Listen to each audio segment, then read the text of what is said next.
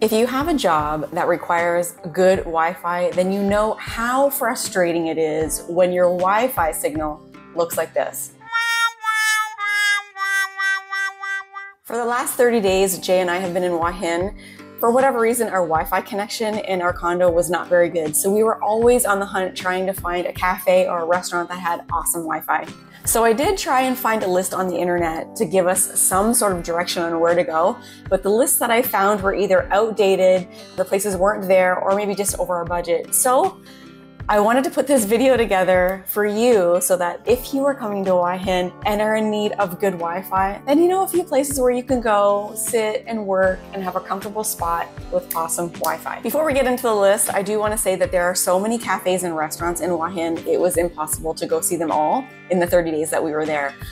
I do think that we did find some good ones and I hope you guys will agree. So I'm gonna be sharing with you our top five picks and if you have a sweet tooth, you're gonna wanna stick around to the end because there's a bonus cafe that we just couldn't leave out.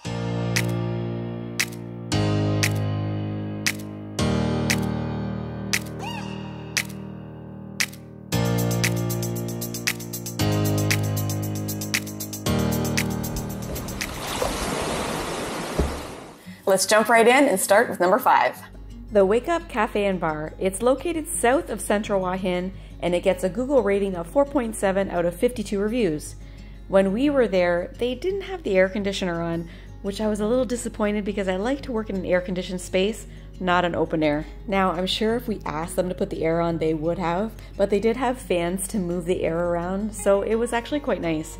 The Wi-Fi speed here was great, and I find that some cafes and working spaces just aren't equipped with proper height tables and chairs. This place was perfect.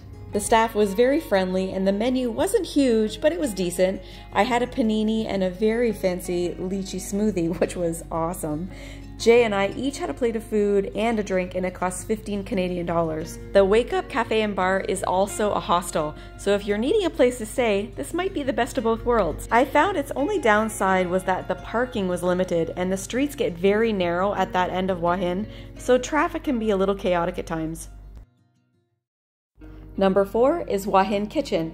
Now this place is located in central Hua Hin and it gets a Google rating of 4.4 out of 328 reviews. It is a restaurant more than a cafe, but what I like about the Hua Hin kitchen is that there's an air conditioned space and an open air space. I like the fact that you get to choose where you want to sit. You're not forced into one or the other. As you can see, there was lots of tables and chairs to choose from, the Wi-Fi was good, and lots of food choices.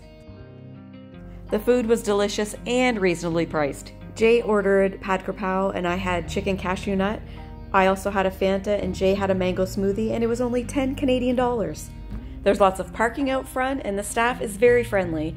It was definitely a place you could have lunch, settle into a corner, and get some work done. Number three, the Row House.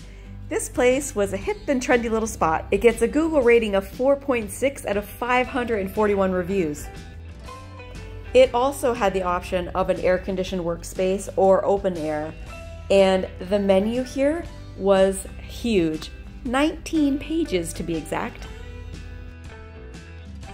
It had a variety of fancy beverages and great breakfast options. I ended up getting their full breakfast and a yummy lychee rose iced tea.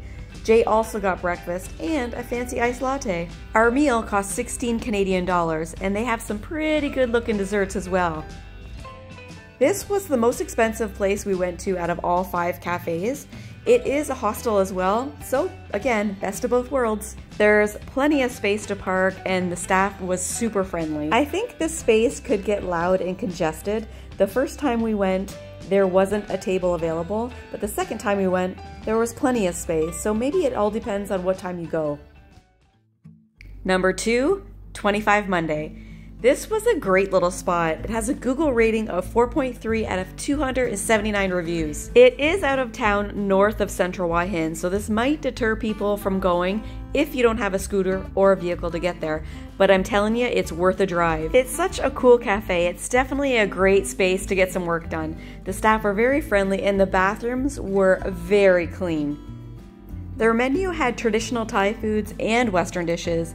They also had a dessert counter and their brownies were only $1.15 Canadian. How could we say no? Jay had fish and chips and a blended iced coffee, and I got their cream of mushroom soup and a lychee rose tea smoothie. It was delicious and only 14 Canadian dollars. 25 Monday was walkable to where we were staying in Hua Hin, so for us, it was perfect. And coming in at number one was the C Cup Home Cafe and Restaurant. It has a Google rating of 4.3 out of 140 reviews and is located southwest of central Hua Hin. We just happened to stumble upon this cafe while we are searching for a long term condo in Hua Hin. And if you haven't seen that video, I'll leave it at the end of this video so you can go check it out afterwards if you're curious about condos and what Hua Hin has to offer. We were pleasantly surprised by how reasonable the prices were here compared to the other cafes. The size of the menu was good and the food was delicious. We came here a few times and Jay always got the iced cappuccino frappe because it was the best one he'd had in all of Hua Hin. I ended up having the same dish a couple of times. It was plain rice with chicken and fresh vegetables. It was delicious. They also had the options of air conditioned workspaces and open air workspaces if that's what you prefer. Or if you just want to sit on a swing, they have one of those too. The staff were very friendly and the Wi Fi was the fastest we'd found, so it was a perfect spot to upload videos.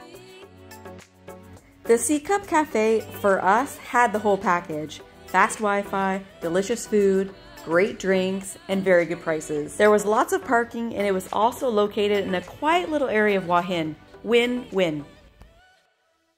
And for the bonus cafe, if you made it this far, we found the best brookie you'll ever have. You're welcome. If you're someone like me who's never heard of a brookie, your life is about to change. It is a cookie and a brownie all in one. And you can find it here at S'more Cafe. It's located just south of Central Hua Hin and has a Google rating of 4.6 out of 54 reviews. It's a cute, eclectic cafe specializing in s'more type desserts they also have many other desserts to choose from if marshmallows just aren't your thing. But we couldn't resist the brookie. Honestly, all of their desserts look delicious. Even though they had great Wi-Fi and they had a long list of specialty coffees, how could you concentrate with all these delicious desserts to try? It's definitely a place you won't want to miss. So if you're coming to Hua Hin and are in need of a good workspace with great Wi-Fi, I hope one of these ones that are on the list will do the trick. Thanks for watching, guys.